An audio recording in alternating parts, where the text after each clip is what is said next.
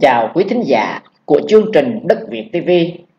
Người dân miền Nam được hưởng tự do, dân chủ, cuộc sống văn minh, quốc gia thịnh vượng trong 20 năm dưới chế độ Việt Nam Cộng Hòa. Thế rồi, sau ngày 30 tháng 4 năm 1975, khi quân Cộng sản Bắc Việt đánh chiếm được miền Nam, thế là họ đẩy dân miền Nam xuống bờ vực thẳm, người bị bắt đi tù cải tạo Người bị cưỡng bức lên vùng kinh tế mới trên rừng sâu nước đập. Người bị cướp đoạt tài sản. Với cái tư tưởng hà khắc của thuyết cộng sản Như một chiếc vòng kim cô siết chặt cuộc sống của người miền Nam. Đói khổ, sợ sệt Bao trùm lên toàn lãnh thổ miền Nam. Khiến hàng triệu người miền Nam phải chạy trốn chế độ cộng sản Đi tìm tự do.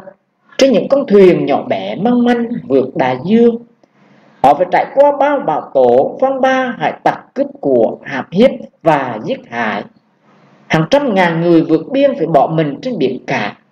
Việc cảnh hải hùng của mỗi người việc vượt biên bằng đường biển vẫn còn mãi mãi tiếp tục ám ảnh dày vò cuộc đời của họ cho dù họ có sống trong bất cứ hoàn cảnh nào có đi đến bất cứ chân trời góc biển nào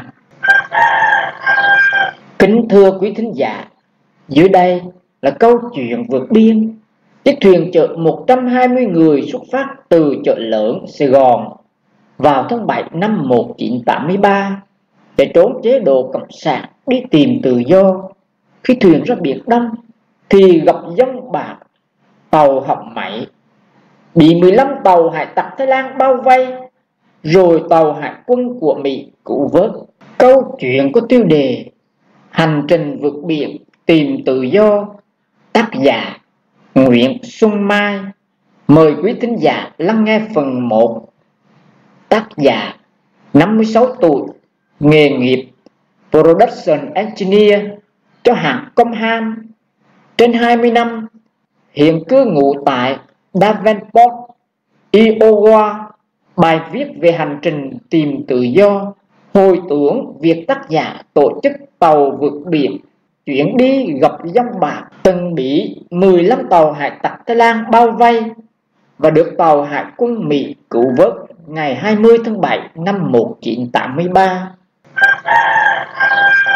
Đã đúng 30 năm kể từ chuyến tàu vượt biển đỏ tháng 7 năm 1983.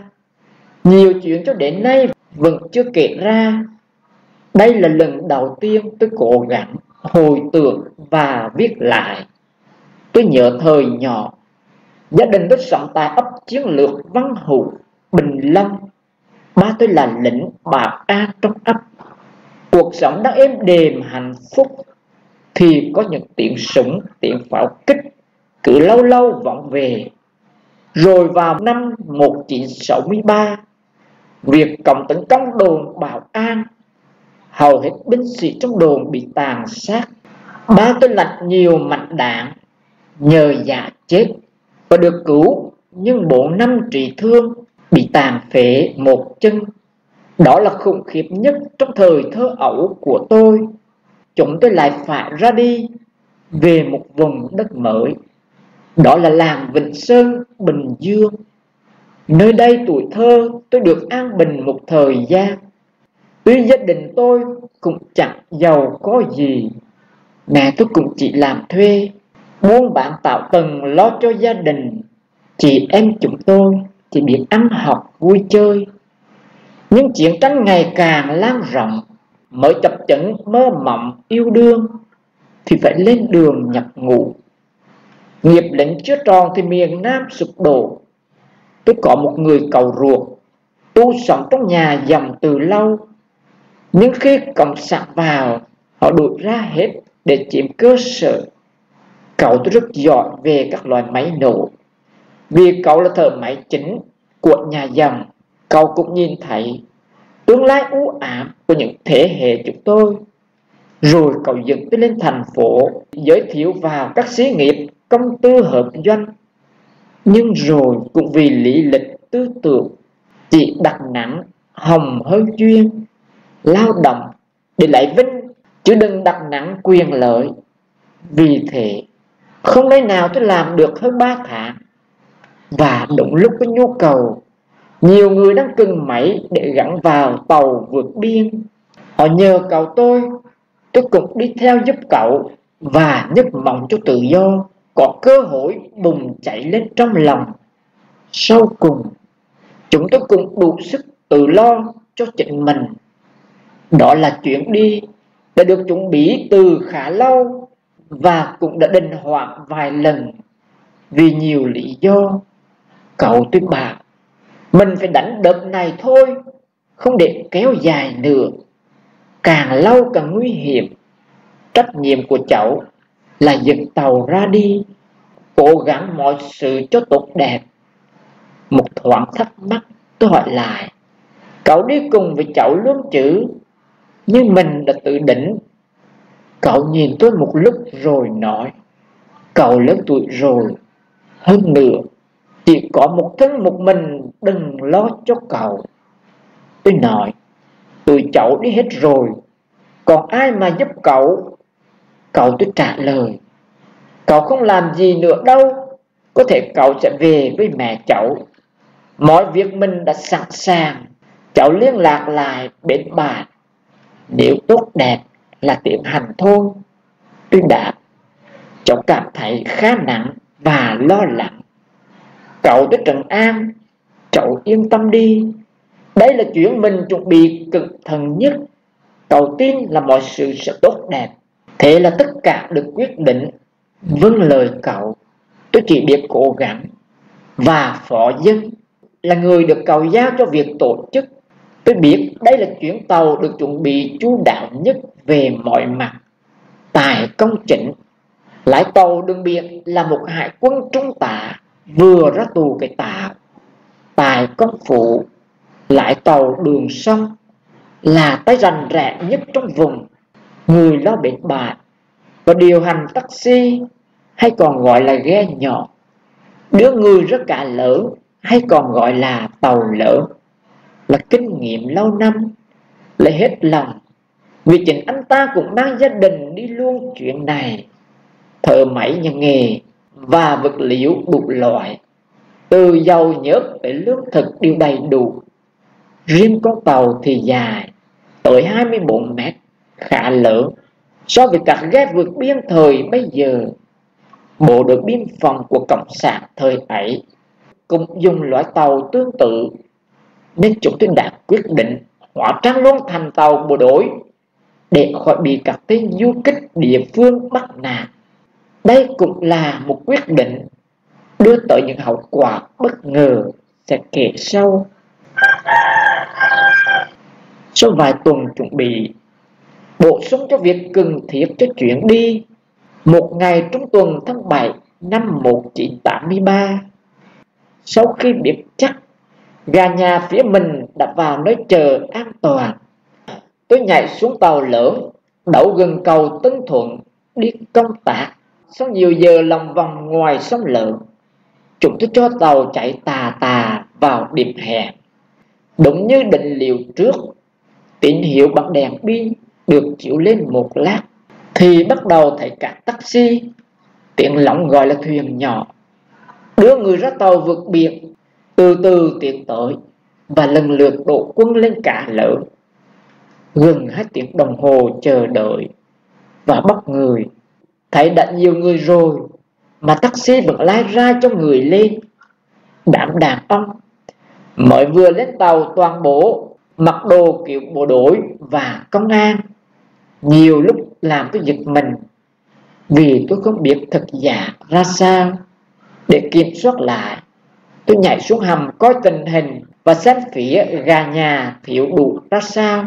Tìm tới tìm lui, chỉ thấy một đứa em trai. Còn bà chị lớn của tôi không hiểu sao không thấy. Chuyện trước, chị tôi đã bị rớt lại. Trong lúc mọi người đều đi trót lọt. Nên lần này, tôi gợi gắm chị rất cẩn thận cho người lại taxi cùng với gia đình họ.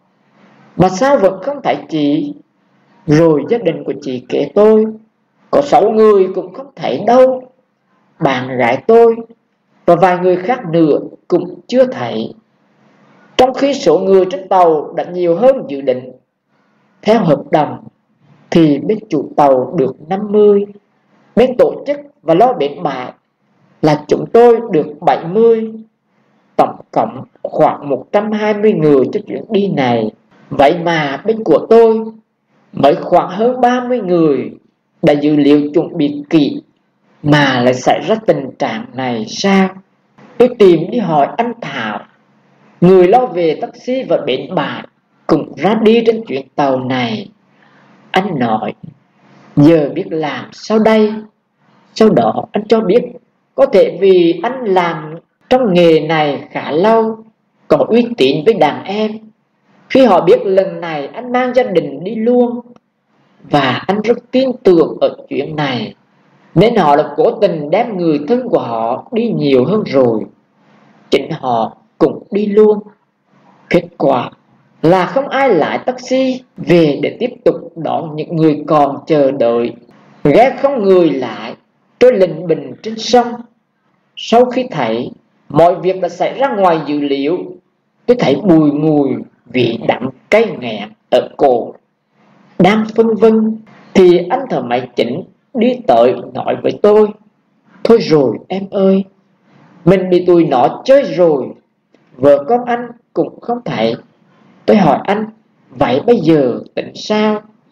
Anh đang suy nghĩ thì tôi nói luôn, hay là anh cho ụ tàu vào ụ cho họ lên mình chạy về làm lại im lặng một lát rồi anh nói, tùy em quyết định. Vì em là người chịu trách nhiệm chính. Vừa lúc đó chủ cầu để nói với tôi, các đồ nghề đầy đủ chữ tôi nói, đầy đủ. Còn gia đình chủ đủ chưa? Chủ nói, hai đứa con gái đã lên đầy đủ. Mình đi thôi, trễ rồi.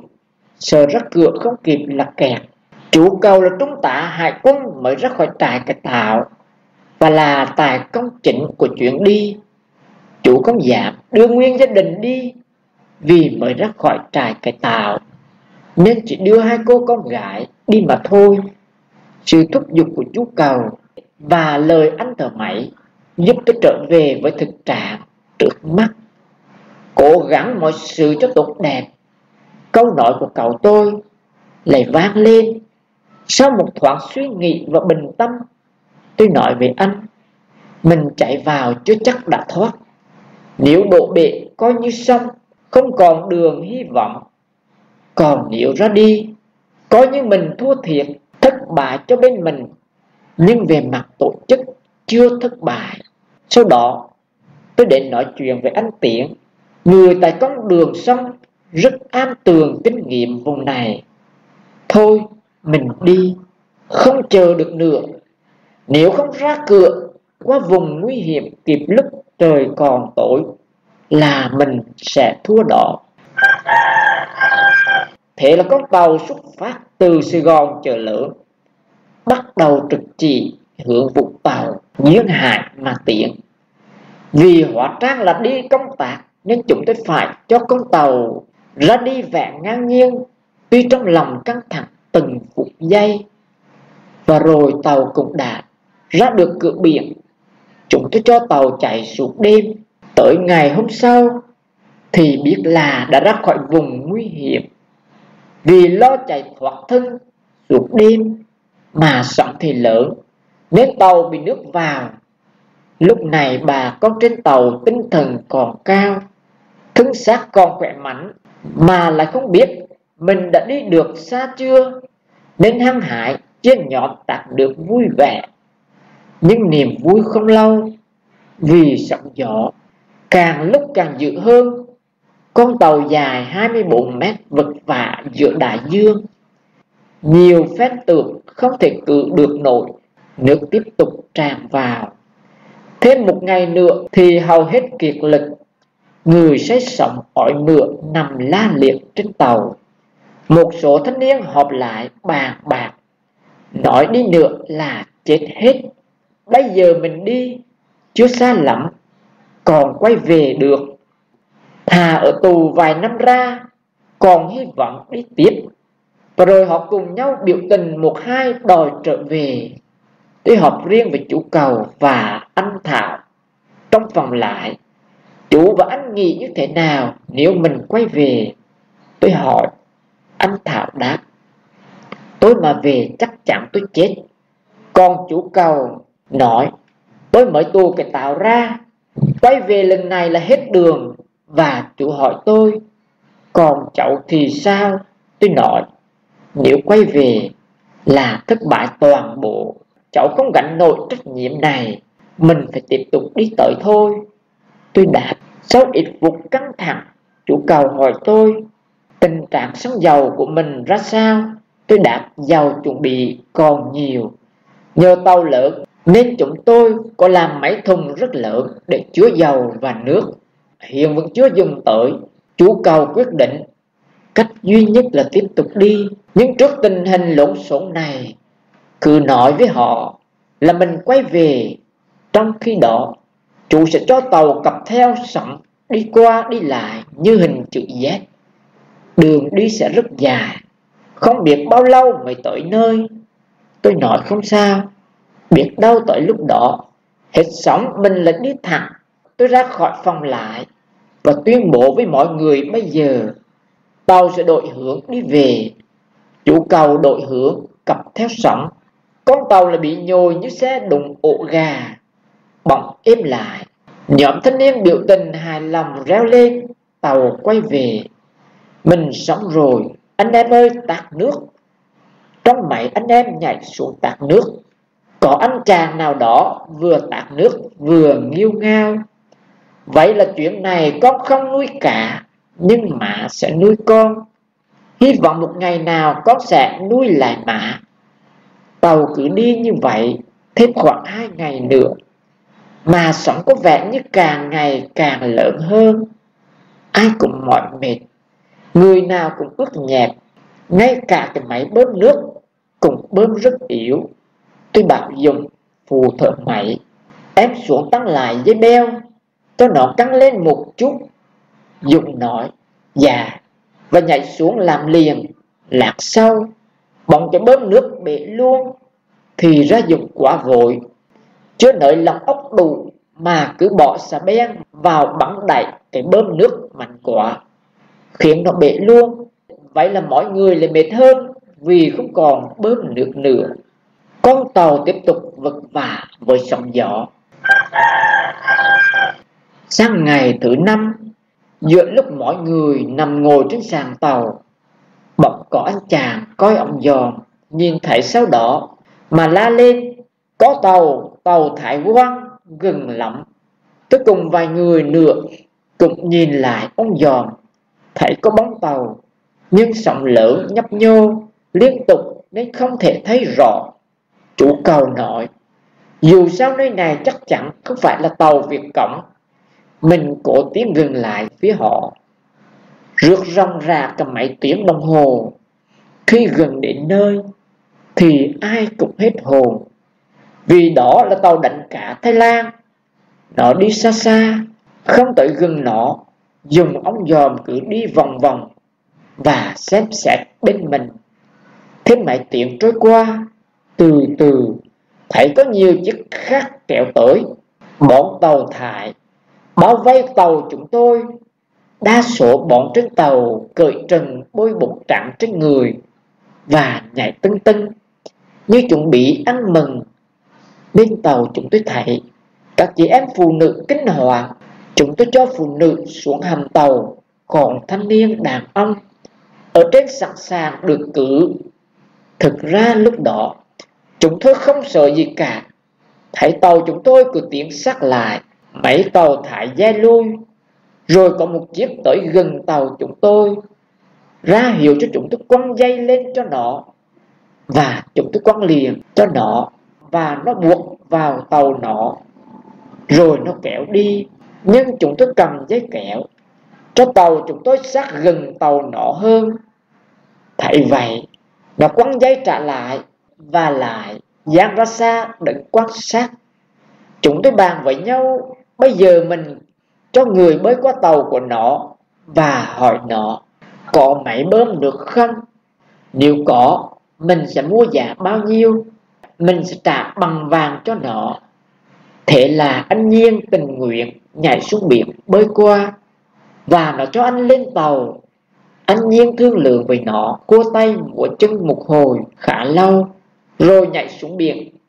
Bơi trở về, bảo nó không có. Đoàn tàu thái tiếp tục bao vây chúng tôi cả ngày. Tôi đến tất cả là 15 chiếc tàu đánh cá Thái Lan loại lớn. Thình lình, một tàu thải tới gần thải qua cho chúng tôi một số mì gói và thuộc rê. Và chỉ hướng cho tàu chúng tôi đi. Sau đó, chúng từ từ kéo nhau đi. Đến đây, đất việt tv xin chân thành cảm ơn quý thính giả đang quan tâm theo dõi. Và hẹn gặp lại quý thính giả trong phần 2 tiếp theo. Xin trân trọng kính chào.